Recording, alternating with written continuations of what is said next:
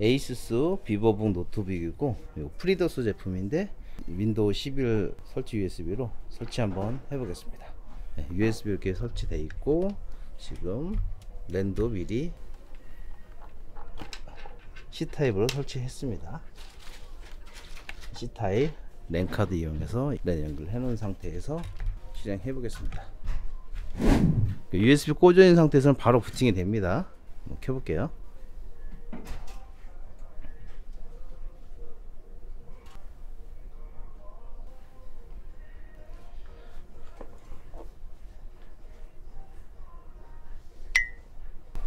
한국어 한국어. 네. 키보드 선택하고 다음. 지금 설치 누를게요.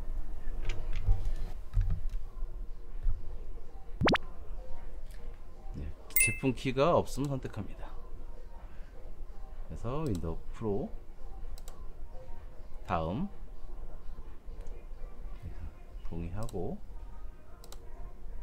두 가지 버전이 있어요 이 옵션은 지원되는 윈도우 버전이 컴퓨터 이미 실행 중인 경우만 사용합니다. 처음이기 때문에 이걸 합니다. 윈도우만 설치로. 어, 지금 근데 설치를 하는데 드라이브를 찾을 수 없습니다. 이 문제가 뜹니다. 이걸 해결해야 합니다. 네, 이렇게 드라이브를 찾을 수 없습니다. 뜨면은 바이오스 들어가서 네, 수정을 해야 됩니다.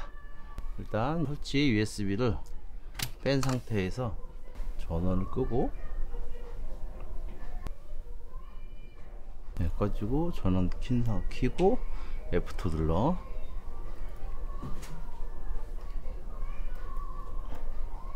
네, BIOS 하면 이제 진입을 합니다.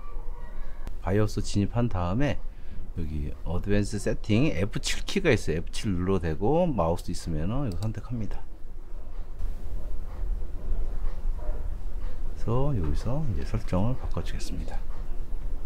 여기서 advanced로 들어가서 이쪽에서 쭉 내리다 보면은 여기 VMD setup 메뉴가 있습니다. 요거를 이네이블 해서 디저브로 바꿔줍니다. 네, 경고창은 눌러주면 되고요. 이 상태에서 세이브를 합니다. 이쪽에 F10 키나 세이브 F10 눌러서 컨펌하고 리셋을 합니다. 돼서는 이제 셋업하니까 USB는 다시 꼽아줘야 돼요. 설치를 해야 되니까. 네, USB 다시 설치했습니다.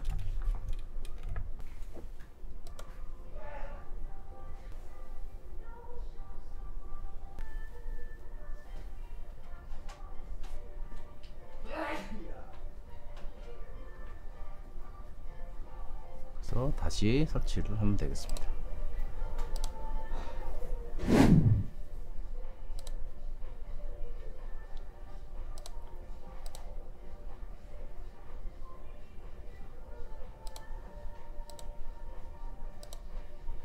그러면 이제 할당되지 않은 이제 드라이브가 생성됩니다. 요거 이제 오일리 제품이고요. 요거를 그대로 하나 써도 되고 뭐 사용자 환경에 따라서 만들면 됩니다. 저희는 이거를 반반씩 나눌 거예요. 새로 만들기 들어가서 256 기가로 할 거예요. 256 기가를 MB로 한사람면은 숫자가 뭐 262, 144 정도가 됩니다. 262 144 해서 적용을 하겠습니다. 네, 이렇게 두 개로 나눠졌고요. 이게 주에다가 설치를 할 거고 이제 D 또 확장된 거는 할당되지 않은 공간도 이것도 하나로 사용해서 만들기 해보겠습니다. 네, 전체 적용 주주주가 됐습니다. 하면서 이제 다음 눌러서 설치를 시작하겠습니다.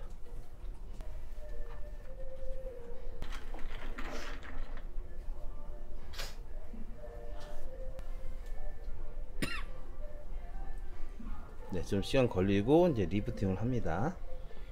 네, 5분 정도 설치 진행하네요.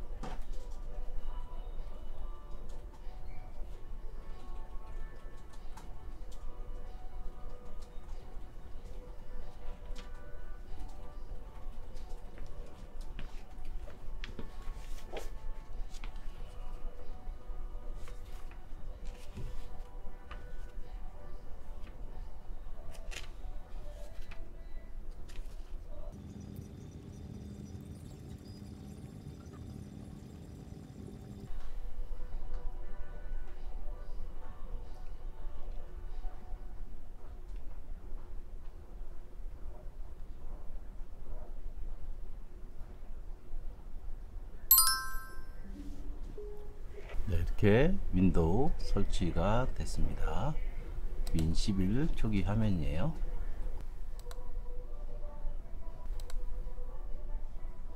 이렇게 할당이 됐습니다. 처음 설치할 때 C C는 네 요건 됐고 요거 빨간색은 USB 설치 거예요. 빼볼게요. 뺀 상태에서 나머지 하드를 찾아보겠습니다. 그래서 컴퓨터 관리 가서 디스크 관리 C 있고 예, 이거 D 드라이브 할 게 RAW로 되기 때문에 이거를 포맷을 하겠습니다. 새 볼륨은 D로 하고 NTFS로 NTFS로 하겠습니다.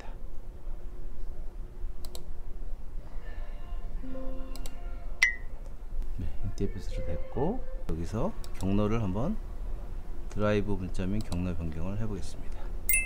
추가 예, 할당을 D로 주겠습니다. 네, 이렇게 하니까 이런 식으로 D가 형성이 됐습니다. 이렇게 해서 안 보이던 거 보이게 해서 사용하면 되겠습니다. CD가 다 구성이 됐습니다. 이제 드라이버 아수스 드라이버 한번 보겠습니다.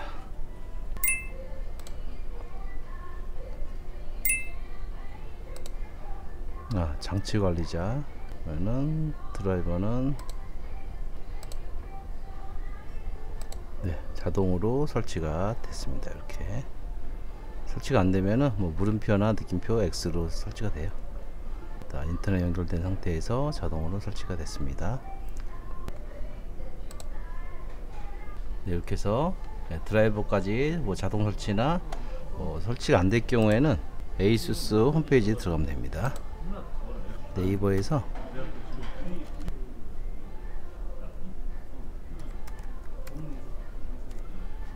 에이수스 한국.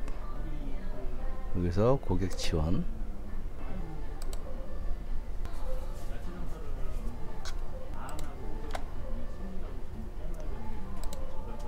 그래서 뭐 종류별로 있으니까 그래서 검색해서 다운로드 받고 진행하면 되겠습니다. 이렇게 지금까지 에이수스 Vivobook 노트북 윈도우 설치하는 방법이었습니다. 감사합니다.